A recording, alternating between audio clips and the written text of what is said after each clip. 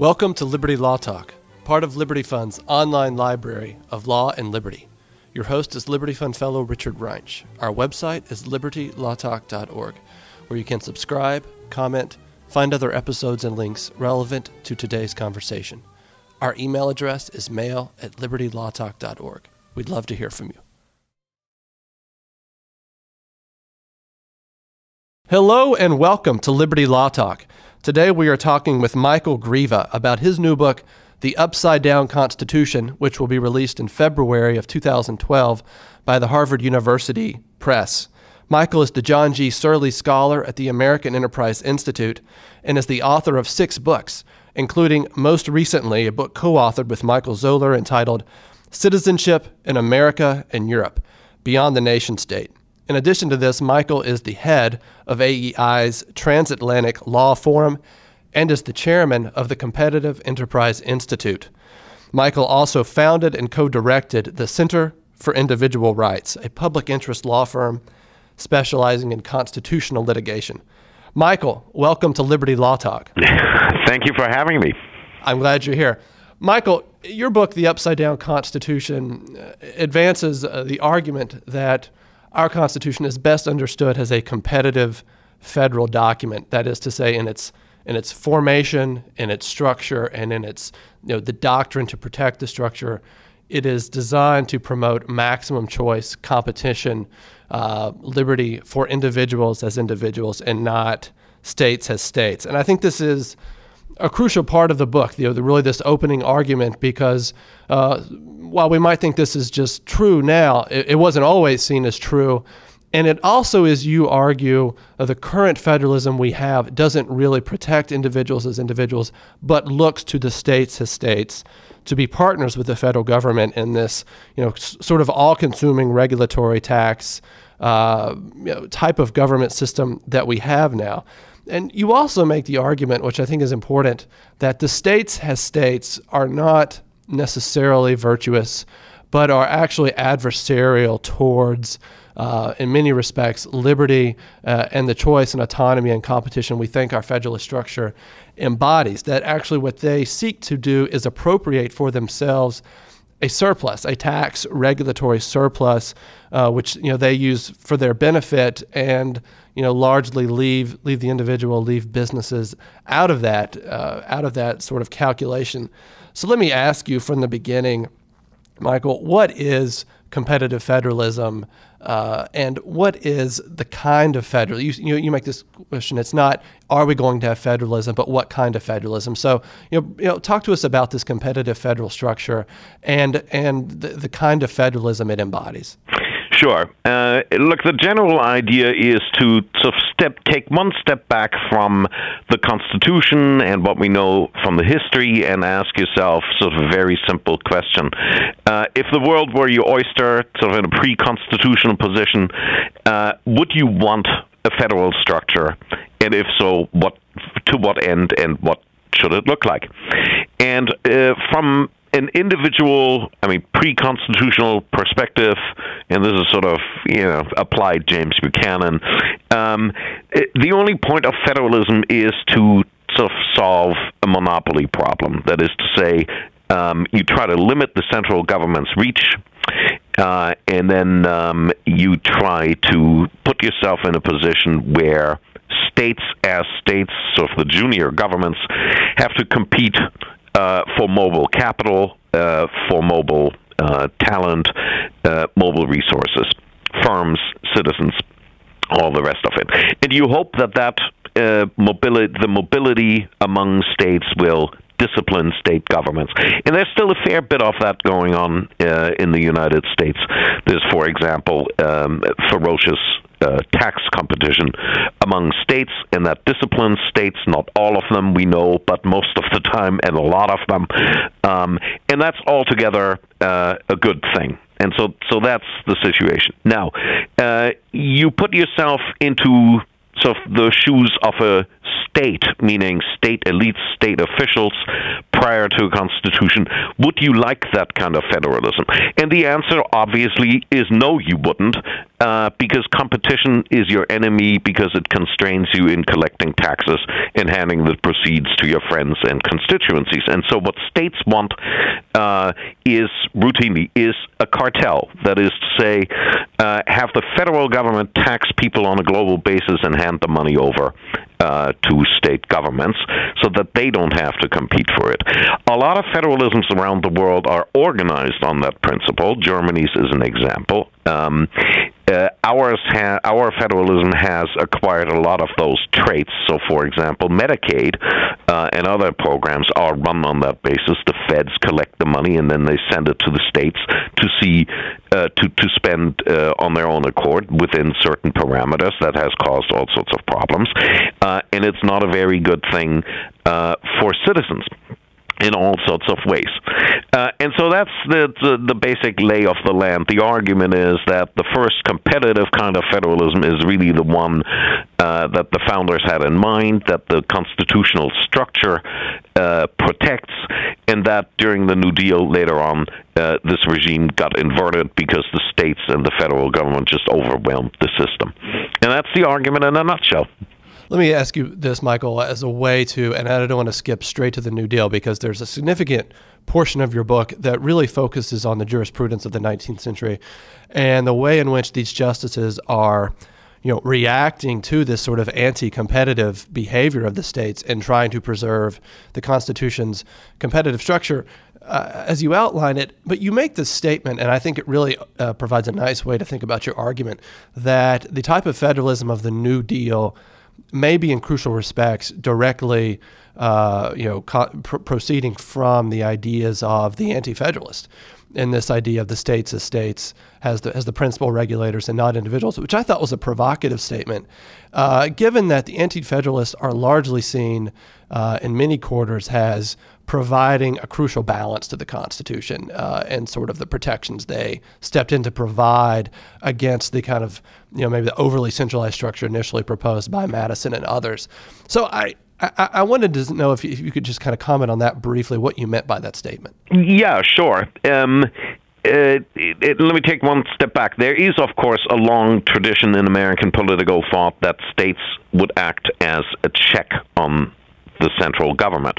And that was true uh, during the antebellum era, uh, to some extent uh, uh a little after that. But once you get to the 20th century, uh, the standard pattern is a state demand for central intervention.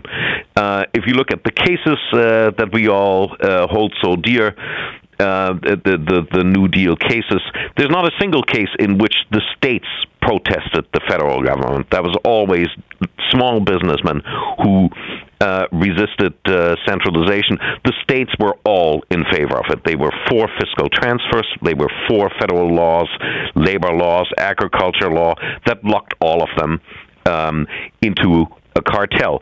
What that had, has in common with the anti federalist is really the insistence on the protection of states and state political elites as states right?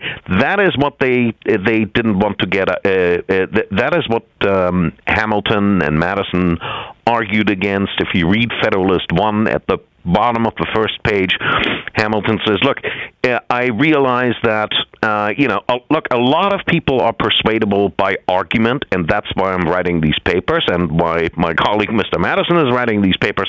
But there's certain people who cannot be persuaded, who have simply have to be beaten, and that is state officials uh, who cling to their offices and who fear any diminution of the power, consequence, and emolument of their office that they would suffer under the Constitution. Um, and that is what the New Deal, the, the anti federalist tradition, uh, the the tradition against which Hamilton argued, that is what the New Deal inherited, not for its own sake, not because it was sort of romanticizing state governments, but because it figured out that state governments are brilliant places for redistribution uh, and uh, for occupation by interest groups uh, that the New Deal liked. And so the New Deal strategy was not, as is commonly believed, to centralize everything and to augment the powers of the national government. It was to augment and empower governments at all levels state, federal, local, you name it, and that's the federalism we inherited. Now, and this is this is an interesting part of your book. I mean, if if you've gone to an American law school in the last half century, you probably still can recall the holding uh, in the famous Erie, Pennsylvania railroad case. Um, but I think what you do in your book is you you certainly, in my mind, present uh, a, not a new interpretation, but a very powerful reading of the case, uh, which is to say Erie is about, as, as you just said, uh, empowering government to regulate at all levels. Whereas, you know, my reading of Erie always was this was something good in the sense of unleashing federalism and allowing uh, within diversity jurisdiction uh, litigation, actually allowing state law to be used in substantive areas. And I thought that was probably a good thing. Um, but you say, actually, no, it's not, not a good thing because you're actually empowering the states to uh, set the worst, the most egregious forms of extraterritorial legislation. Plaintiffs understand this and can sh- forum shop in, in light thereof. Uh, and this actually sort of breaks down the, the competitive principles you talk about in the book. So before we really just, I think, move into Erie, I, I do want to ask you something uh, about the, the competitive structure and the courts because you, you argue the Constitution assigns institutional problems or, or the, the different problems to different institutions as a ways of, of, most efficiently dealing with them, and that the court on so many questions is much better suited to defend at least the horizontal federalist structure you articulate as opposed to the Congress. Um, talk about how you know sketch for how the courts did that. I mean, there's and there's also this development you talk about of the common law doctrines of the Constitution to aid that process. Uh, sure. Uh, I should preface this by saying this isn't really my argument. This is sort of conventional wisdom uh, among a lot of legal scholars, in particular those who uh, study uh, Europe and and the the structure of the European Union. And the basic idea is this: uh, anytime you have a federal structure, you're going to have massive coordination problems um, among the member states and the member jurisdictions. And the question is, um, how do you integrate that, and on what terms? And I've, as as we uh, talked about earlier, uh, what I want and what I think the Constitution wants is to um, let people make their own choices and basically you have a free market regime across state lines. And there isn't really much doubt that that is, in fact, what the Constitution requires. That is why there's a prohibition against import and export taxes, why there's a contract clause forbidding states from impairing the obligation of contract, why there's a tonnage clause, why there's a compact clause, and on and on and on. Most of it, why there's a privileges and immunities clause in Article 4 that protects citizens against discrimination. All right. Um, as you can see from that litany of clauses, uh, they're in a way redundant because Congress, you could always write a constitution that allows Congress just to legislate those things, right? We're talking about interstate commerce here. So why can't Congress protect uh, citizens against discrimination? Why can't Congress clamp down on the states and say, no, you can't tax stuff um, that comes from, from out of state and so on and so forth? And the expectation is, well, Congress won't um, because it is mostly made up from of people who come from states who can guarantee um, uh, interaction and and uh, trade and so forth among states on competitive, non-discriminatory terms and under uh, a regime of non-aggression among states? And the answer is the federal courts, the United States Supreme Court, just as in Europe, the European Court of Justice has basically uh, accomplished the same um, process. And the reason why that cuts, why integration, legal integration, economic integration that is led by courts uh, will proceed on competitive terms is that courts can't harmonize stuff.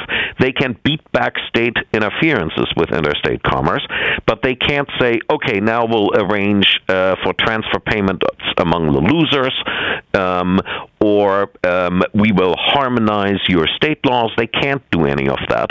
And so, by institutional design, they're just much better at saying, uh, at issuing prohibitions and injunctions against states and saying, no, you can't have that interference. No, you can't have the, uh, this tariff or uh, regulatory equivalent. You have to live in a competitive environment too bad for you.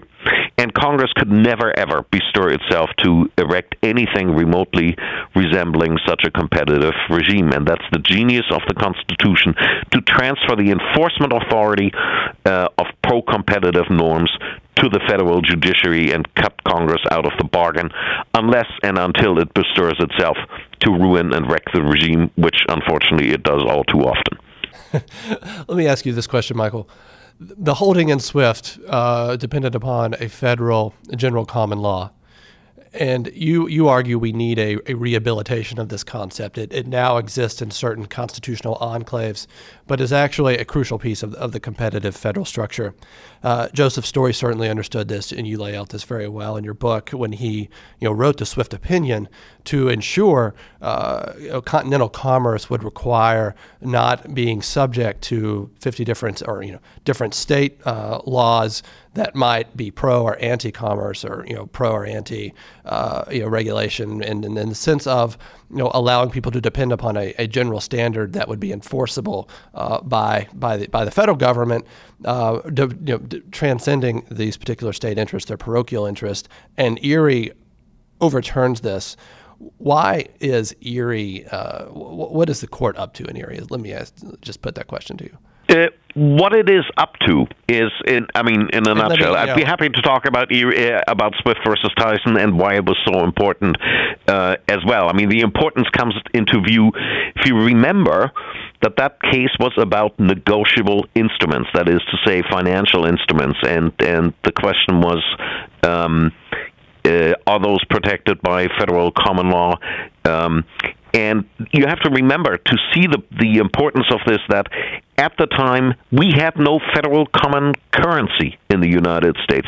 The basic uh, uh, means of credit and exchange were these negotiable instruments, and had those been sort of freely um, it, it, had states been free to mess with those and say no, never mind, um, you, you know, you don't have to make good on these uh, instruments. Um, it it would have had a big effect. Now, um, uh, forward to Erie, what the court is really up to there is it's the end point of a long, long, long uh, debate about the federal courts and the Supreme Court's diversity jurisdiction. That is to say, cases between citizens from different states. Okay, and the progressive movement, movement from the get-go uh, wanted to abolish diversity jurisdiction altogether uh, because they thought that's the federal courts trampling on the poor states. Uh, that's a protection for corporations, um, you know. And what we ought to do is empower state governments um, to regulate corporations to a much, much greater degree uh, than diversity jurisdiction and the federal courts will ever allow. And that went absolutely nowhere.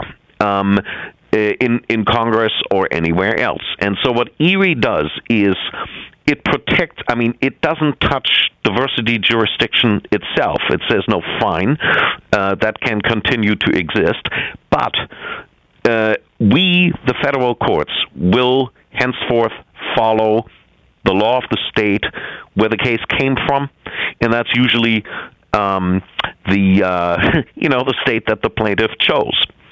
And so what that does is it ties federal courts to the law of the plaintiff's uh, state um, in in effect, and there's no check on exploitative extraterritorial uh, state uh, uh, state jurisdiction uh, from then on forward. And uh, you know, to that fateful decision, we owe you know a whole lot of things that uh, have gone wrong in American law. No, and, and, I think this is a key part of your book, uh, and and also I, I do want to try and address with you because you know, in you know, pedagogical terms, Erie is, is never really given the public choice analysis you present, but is largely seen as a repudiation of, uh, and, and this is a wrong understanding of the common law, but this sort of Platonic doctrine that Story and other 19th century justices were engaged in, where they thought they could actually reach up and find the law and pull it down into the city, as it were. And, and, and of course, we know, I mean, the common law is actually far more Aristotelian than that. But in that in that sense, it seems to me uh, the federal general common law that you present does pose problems for the separation of powers, and many advocates of you know judicial restraint would argue that this could be actually judicial empowering doctrine. You argue that it's not, and that this is actually key to thinking about the New Deal because these these doctrines like the Dormant Commerce Clause, preemption doctrine, ways to think about you know, doctrines that policed enumerated powers and also state police powers have really been redesigned by the courts uh, to allow this sort of cartelized federalism. Uh, yes, and they all, at the end of the day, you know, hang on Erie or uh, at least on its spirit, right? Um, it, look, the, the the the standard line that first Felix Frankfurter and then his modern day heirs, conservative heirs, I should say, um, Robert Bork trumpeted was the federal courts have no business ordering state to state relations in this fashion. We should let Congress take care of this right?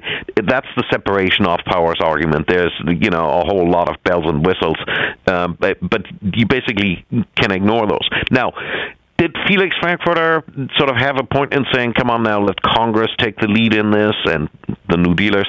Yeah, kind of, sort of. You can see that.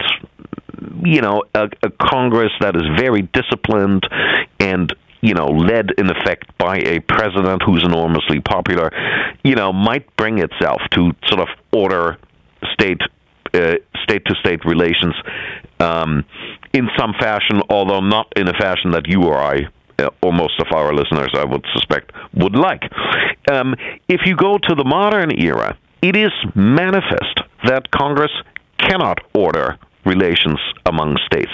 It is very bad already at saying this belongs to the federal government or this belongs to the states. Uh, occasionally, it's capable of doing that. That's all these preemption statutes. But if you look at them uh, and how murky they are, you see how bad Congress is at those kinds of things. And Congress is completely incapable uh, of saying this belongs to state A and that belongs to state B. Uh, the only modern day example that is like that, that I can think of, is the Defense of Marriage Act, right, which tried in Section 2 to compartmentalize uh, marriage law along state lines. Um, but you can see how extraordinary uh, that actually is. And the only reason why it came about was that it was such a controversial topic that Congress didn't have the nerve to say we will legislate our own standard. Well, if when it comes to to stuff that's less controversial and less sort of riven with ideological overtones, Congress, you know, all the time says here here's our standard, and. Um, uh, you know, this is no longer the states. This is now ours. Um, it, so it, it, this is long-winded, very long-winded, and I apologize way of saying um, the notion that Congress should take the lead on these matters, on choice of law questions and interstate relations and all the rest of it. It just grossly overstates the capacity of Congress to provide ordering rules. And uh, the modern day progressives know that. You argue, I mean, and this also gets into the idea, I think in particular your analysis of the Rehnquist court's attempt to reclaim federalism and the sense they don't seem to understand, you argue, horizontal federalism, which is a lot of what we've been discussing. They, they tend to see federalism uh, only in the vertical uh, um, manifestation of that, and as such, they miss these crucial points uh, that you're that you're arguing in your book. Horizontal federalism remains unchallenged, but something you, uh, an interesting point in your book, I think, is you really tie this to the reigning uh, constitutional um, uh, philosophy, uh, which is originalism. And you say originalism seems to kind of naturally pave the way for the erosion of these doctrines that that protected com, you know, competitive federalism. Uh, talk about that briefly, and, and talk about, if you would, what you think. You know, what what sort of doctrines, uh, you know, constitutional hermeneutic should replace this? Yeah, sure. Uh, look, I wouldn't say it, it's paved the way for the erosion. I would say originalism is, you know, incapable of recovering what the constitutional memory that that has been lost. I mean, the the doctrines have eroded for you know all sorts of reasons and would have done so with or without originalism. Here's what I mean by originalism. I, I should say at the outset, in a lot of ways, this is a very originalist book in spirit. Yes. Um, yes. Right. Uh, so what I'm now criticizing is sort of textualist originalism that says sort of the Calvinist theory of the Constitution, right? The text, the text, the text, and that's the end of it. Um, I don't believe that. I don't think you can, and, and there are two reasons for uh, uh, why I don't believe that. On one side, I don't think you can make sense um, of the constitutional text without some theory of what this beast is supposed to be doing. And that's what I try to recover in the first part of the book. All right, uh, and the the originalist argument that oh no no you can't do that because that's political theory, and uh, needless to say there will be more than one political theory, and that means uh, you know it's open season on the Constitution so far as the judiciary is concerned. I don't believe that. Um, and the second part, so so that's one side, the political theory that forms the bedrock of the Constitution, and the other side is that. Um, you know, every once in a blue moon, there's a case where the Supreme Court really looks at the original text, uh, and th- th- like, whoa, we're discovering this now. So the gun rights cases, for example, are like that, right? The Second Amendment. There hasn't been a case in eons about that. So you you basically look. There's nothing between you and the constitutional text. But that's not, I mean, 98% of constitutional law isn't like that. All of constitutional law that I learned and that I teach is doctrine. Right? So there's a dormant commerce clause doctrine which is inferred from the Constitution. There are oodles of federalism doctrines that are inferred from the Constitution and not literally in it. There's a sovereign immunity doctrine. Um, there is, you know, the unitary executive, and on and on and on and on. All of these things are doctrines that are elaborated over time, and it seems to, and, and that is why this book is so long, because it tries to trace the doctrinal developments and where they went off the rails. It strikes me as obvious that, you know, once you say yes to a constitution and especially a constitution that is so deliberately minimalist as ours, you have said yes to doctrine and you've run the risk that the enterprise may get away from you. Um, and and if all goes right, you will still need the doctrines to elaborate the text over time and apply it in particular circumstances and situations. And so, uh, to the extent that modern day originalists, um, and I should I should emphasize, this is not all of them.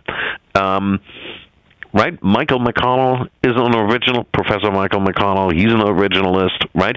He has very high regard for political theory. He knows all the doctrinal stuff and completely understands that that is how judges behave. All I'm saying is that there are particular, um, you know, uh, narrow-minded uh, originalist uh, positions that give far too little attention to political theory behind the Constitution on the one hand, doctrine on the other hand, and therefore they frequently go wrong, and therefore they can't really contribute very much to sort of recovering the competitive constitution that I'm trying to recall here. On that score, uh, and, and thinking about you know, the minimalist constitution, um, two terms you have in your book that I wanted to you know briefly just let you elaborate on, um, uh, but also think about on this light. One is is the cartel federalism, uh, and and also what you what you say we have now, empowerment federalism, but also in thinking about this recovery of the competitive constitution, you're also somewhat pessimistic in that you say the con and what I uh, read you to be saying the Constitution seems to have no inbuilt uh, inbuilt self enforcing, self defensive mechanisms by which this inverted upside down constitution can just be can be really dealt with and, and arrested and remediated. It largely depends upon things outside of the Constitution, like, say, citizenship, like, say, maybe fiscal ruin, uh, and, and even sectionalism within the country. Uh, certainly don't want the type of sectionalism in the antebellum period, but that's an example which actually helped preserve uh, a competitive structure. Uh, so, you know, briefly talk about this this inversion process, uh, and actually, you know, and you, I think you nicely connect this up with also the rights agenda of the court, particularly the, the Warren and the Brennan courts, um, uh, given that particularly New Dealers didn't really look to the courts as their main agents of progress but then obviously did turn in, in, that direction. And, and you seem to you suggest one way to think about this is the Carolene Products case. Sure, um, that's a whole lot, and so let me start at one end, and and uh, I'm sure I'll leave something out if you then follow up. That okay. that'll be great. great, great. Uh, uh so let me start on the uh, at the inversion end, um, and again, this is not. I mean, and and I should say that um, what's really to my mind, new and revolutionary about this book is the way it puts a lot of things together, you know, as opposed to, you know, wow, having discovered some new economic theorem. No, I haven't.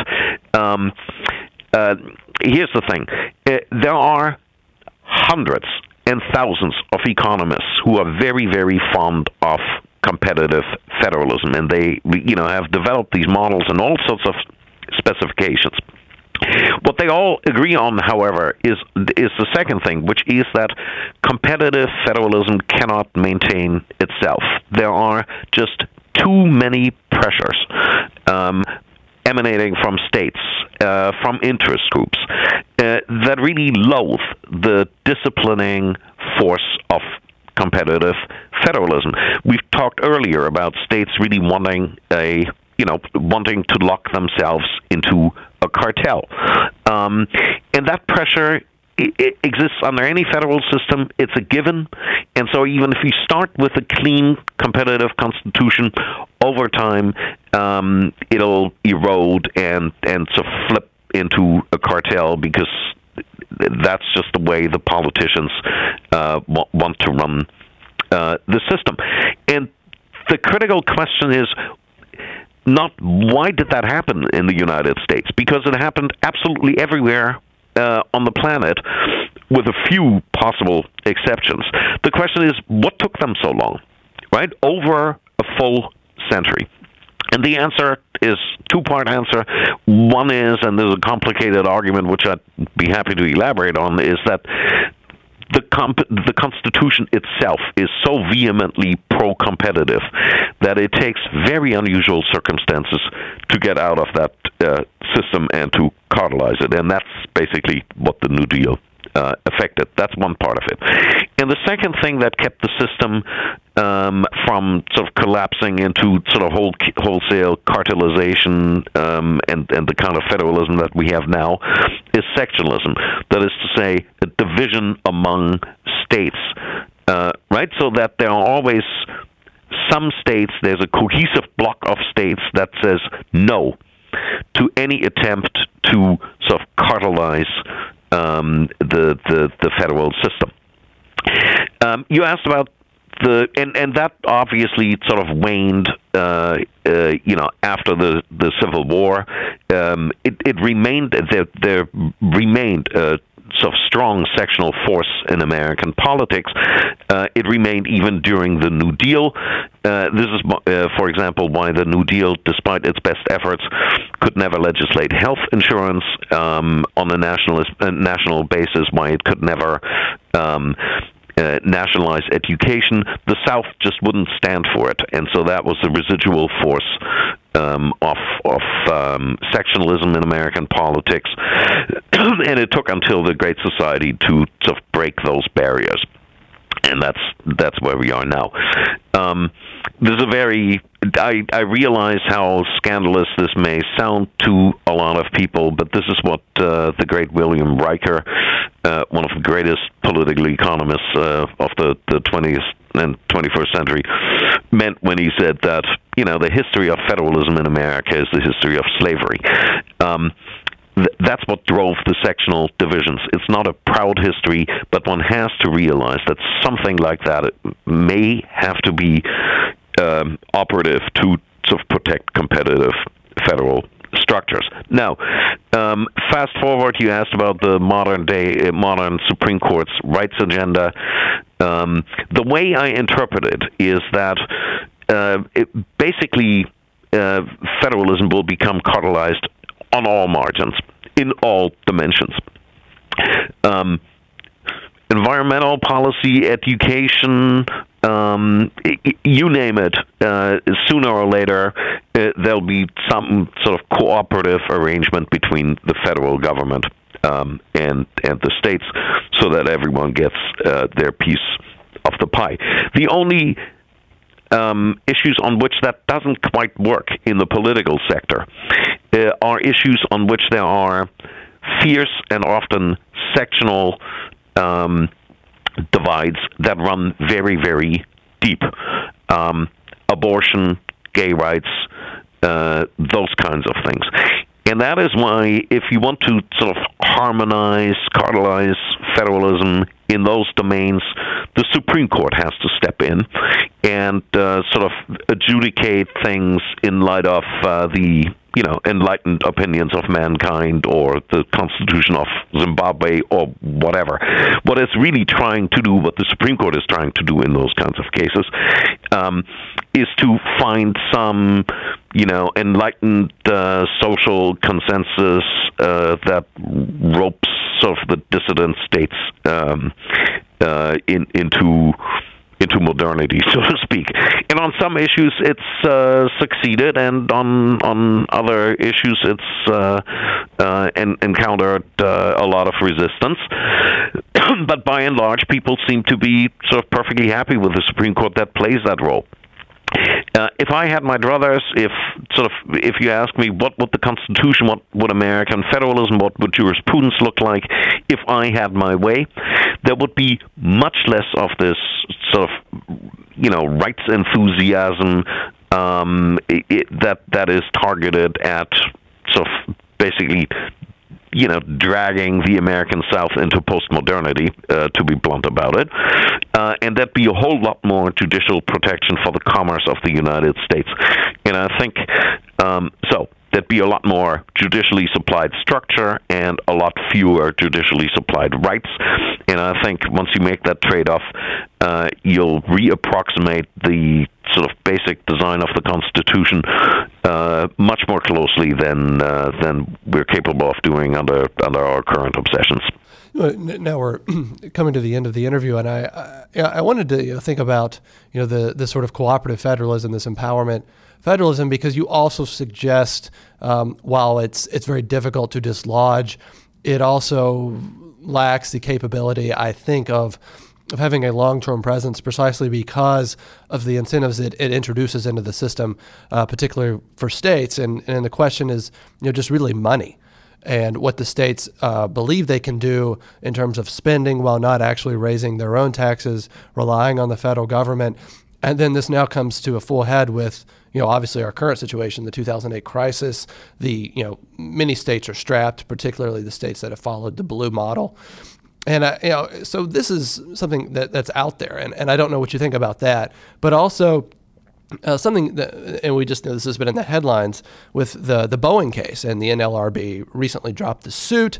But yet, this might be, I think, an, uh, you know, something like the sectionalism you think is you you argue is virtuous, uh, precisely because right to work states now have a, a very powerful economic interest. It seems that's been opened uh, by the NLRB. Yes, and and it, I mean I, I, should say I think that NLRB and right to work issue. Uh, it's important in its own right, but it's also a very, very good sort of proxy for you know the the general configuration of of American um, uh, politics. Uh, I think there are a lot of states, especially in the South, but not exclusively, also in the mountains, uh, in in the mountain regions. excuse me, um, that are um, less regulation minded, more libertarian, if you want, uh, than uh, you know the the states that used to be the center of American politics, which is the Northeast and the um, and the Great Lakes states. States.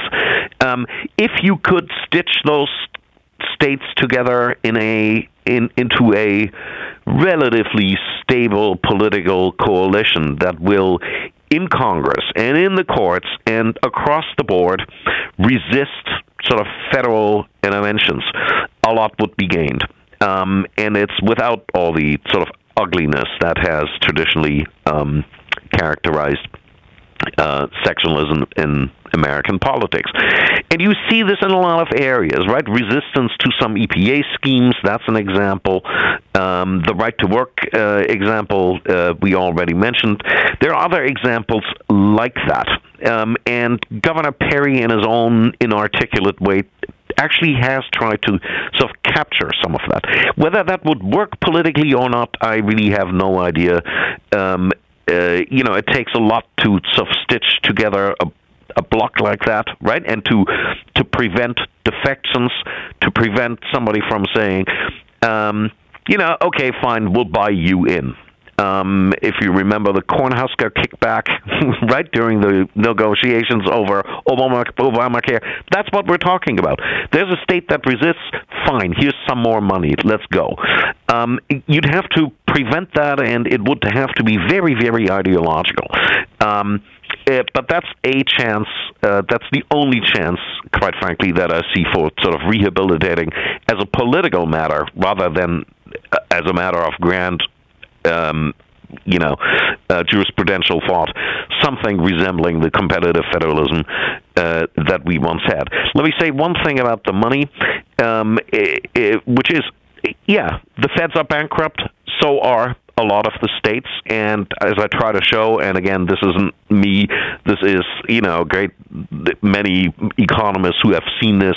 Yeah the federal government constantly incentivizes states to spend um, uh, uh, over their uh, abilities, in excess of their abilities. That's the point of all these federal spending programs, and especially um, Medicaid. Now, you don't see that as much as you see it in, in uh, let's say, Europe and Greece, because states operate under these balanced budget amendments. So where the under where the overspending uh, and the excessive commitments show up is the pension funds. There are something like four trillion dollars in underfunded pensions out there.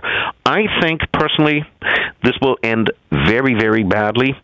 Uh, other countries uh, that have found themselves into that in in that situation have done very draconian things. Um, so, uh, in Argentina, for example, uh, the state and local pensions were rolled into the uh, into the federal system. Okay, and then um, Mrs. Kirchner said, uh, "Yeah, we'll pay your pensions, except even if they're denominated in dollars, we'll pay you back in Argentinian pesos."